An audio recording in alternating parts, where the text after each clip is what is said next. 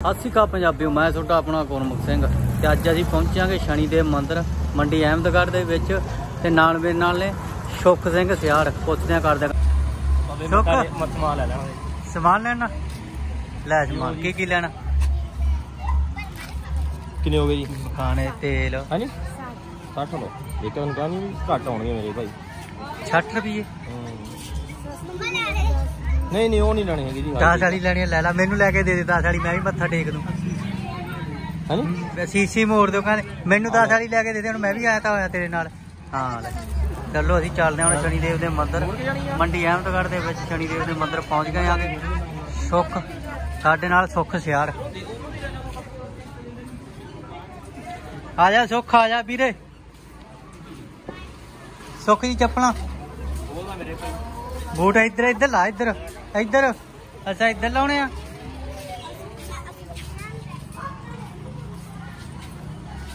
ਸੁੱਖ ਕਿੰਨਾ ਟਾਈਮ ਹੋ ਗਿਆ ਤੈਨੂੰ ਆਉਂਦੇ ਨੂੰ ਕੋਈ ਮੈਨੂੰ ਤਾਂ ਹੋ ਗਿਆ ਘੱਟੋ ਘੱਟ 6 ਮਹੀਨੇ। 6 ਮਹੀਨੇ? ਜਾਂ YouTube ਸ਼ੁਰੂ ਕਿਤੇ ਜਦੋਂ ਆਉਂਦਾ ਜਿੱਦਾਂ YouTube ਤੇ ਸਭ ਸ਼ਨੀ ਦੇਵ ਦੀ ਫਿਰ ਪੂਰੀ ਅਪਾਰ ਕਿਰਪਾ ਹੋਈ ਹੈ ਸ਼ਨੀ ਦੇਵ ਦੀ। ਫੁੱਲ ਪੂਰੀ। ਲੈ ਪਹੁੰਚ ਗਿਆ ਸ਼ਨੀ ਦੇਵ ਦੇ ਮੰਦਿਰ ਆ ਚੱਲਦਾ ਸਮੋਸੇ ਛੋਲਿਆਂ ਦਾ ਲੰਗਰ ਤੇ ਪਹੁੰਚ ਗਿਆ ਮੰਦਿਰ ਦੇ ਵਿੱਚ ਸਾਡੇ ਨਾਲ ਸੁੱਖ ਸਿਆਲ। ਸੁੱਖ ਸਿਆਲ ਕਿੱਧਰ ਨੂੰ ਚੱਲਿਆ? ਸੁੱਖ ਕਿੱਧਰ?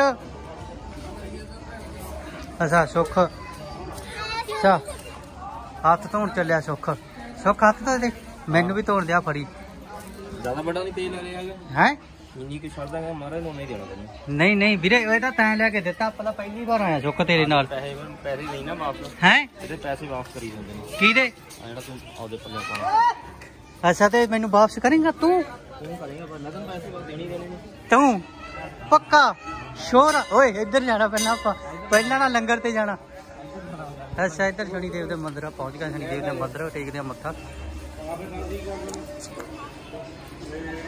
ਇਹ ਬਾਈ ਆਉਂਦਾ ਚੁੱਕ ਸਿਆੜ ਮੱਥਾ ਟੇਕ ਕੇ ਮੰਦਿਰ ਚੋਂ ਬਾਹਰ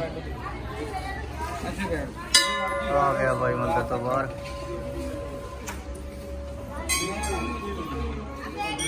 ਸੁਖ ਜੀ ਇੱਧਰ ਕਿਹੜੇ ਮਹਾਰਾਜ ਨੇ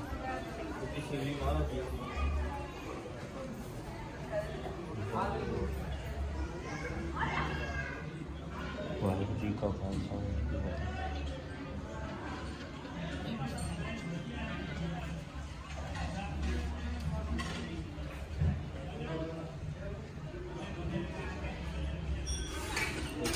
ਕਾ ਖਾਲਸਾ ਵਾਹਿਗੁਰੂ ਜੀ ਕੀ ਫਤਿਹ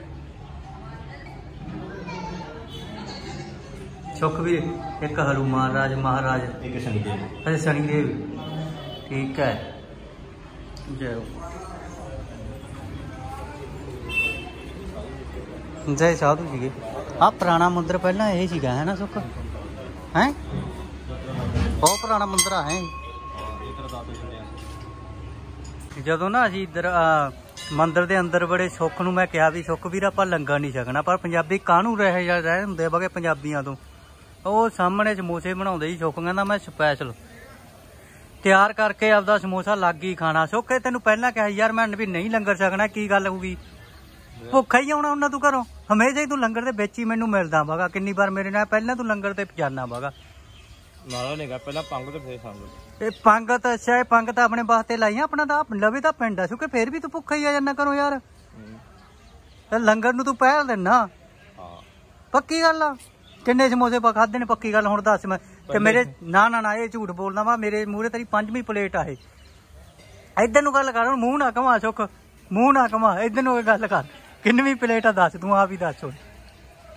ਸਾਨੂੰ ਪਤਾ ਮੈਂ ਤਾਂ ਇੱਕ ਬਲੇਡ ਨਹੀਂ ਨਹੀਂ ਇੱਕ ਆ ਝੂਠ ਨਹੀਂ ਬੋਲੀ ਜਾਂਦਾ ਤੂੰ ਮੰਦਿਰ 'ਚ ਖੜਾ ਮਗਾ ਕਿੰਨਵੀਂ ਪੰਜਵੀਂ ਭਾਜੀ ਠੰਡਾ ਲੈ ਗਿਆ ਫੜ ਕੇ। ਲੈ ਠੰਡਾ। ਤੇ ਠੰਡਿਆਂ ਦਾ ਲੰਗਰ ਨਹੀਂ ਲਾਇਆ ਤੈਨੂੰ ਸਮੋਸੇ ਮਿਲ ਗਏ ਥੋੜੇ ਨੇ। ਪਾਣੀ ਤਾਂ ਪੀਣਾ ਯਾਰ। ਪਾਣੀ ਤੈਨੂੰ ਮਿਲੂਗਾ ਜ਼ਰੂਰ। ਤੂੰ ਐ ਦੱਸ ਕਿੰਨਾ ਸਮੋਸਾ ਹੁਣ ਚ ਐ ਨਾ ਕਹਦੀ ਓਏ ਦੋ ਪਾਏ ਹੋਏ ਨੇ ਉਹਨਾਂ ਦੇ ਸਮੋਸੇ ਇੱਕ ਪਲੇਟ 'ਚ ਦੋ ਸਮੋਸੇ ਨੇ। ਐ ਝੂਠ ਨਾ ਬੋਲ ਚੁੱਕ ਆ ਦੇਖ। ਦੋ ਨੇ। ਇੱਕ ਆ। ਕਿੰਨੇ ਗੜੇ ਹਜੇ ਹੋਰ ਲਾਵੇਂਗਾ? ਬਸ। ਨਹੀਂ ਬਸ ਵਾਲਾ ਤੂੰ ਹੈ ਨਹੀਂ ਬੰਦਾ। ਵਧੀਆ ਸਾਨੂੰ ਮੈਂ ਇੰਨਾ ਕੀ ਖਾਣਾ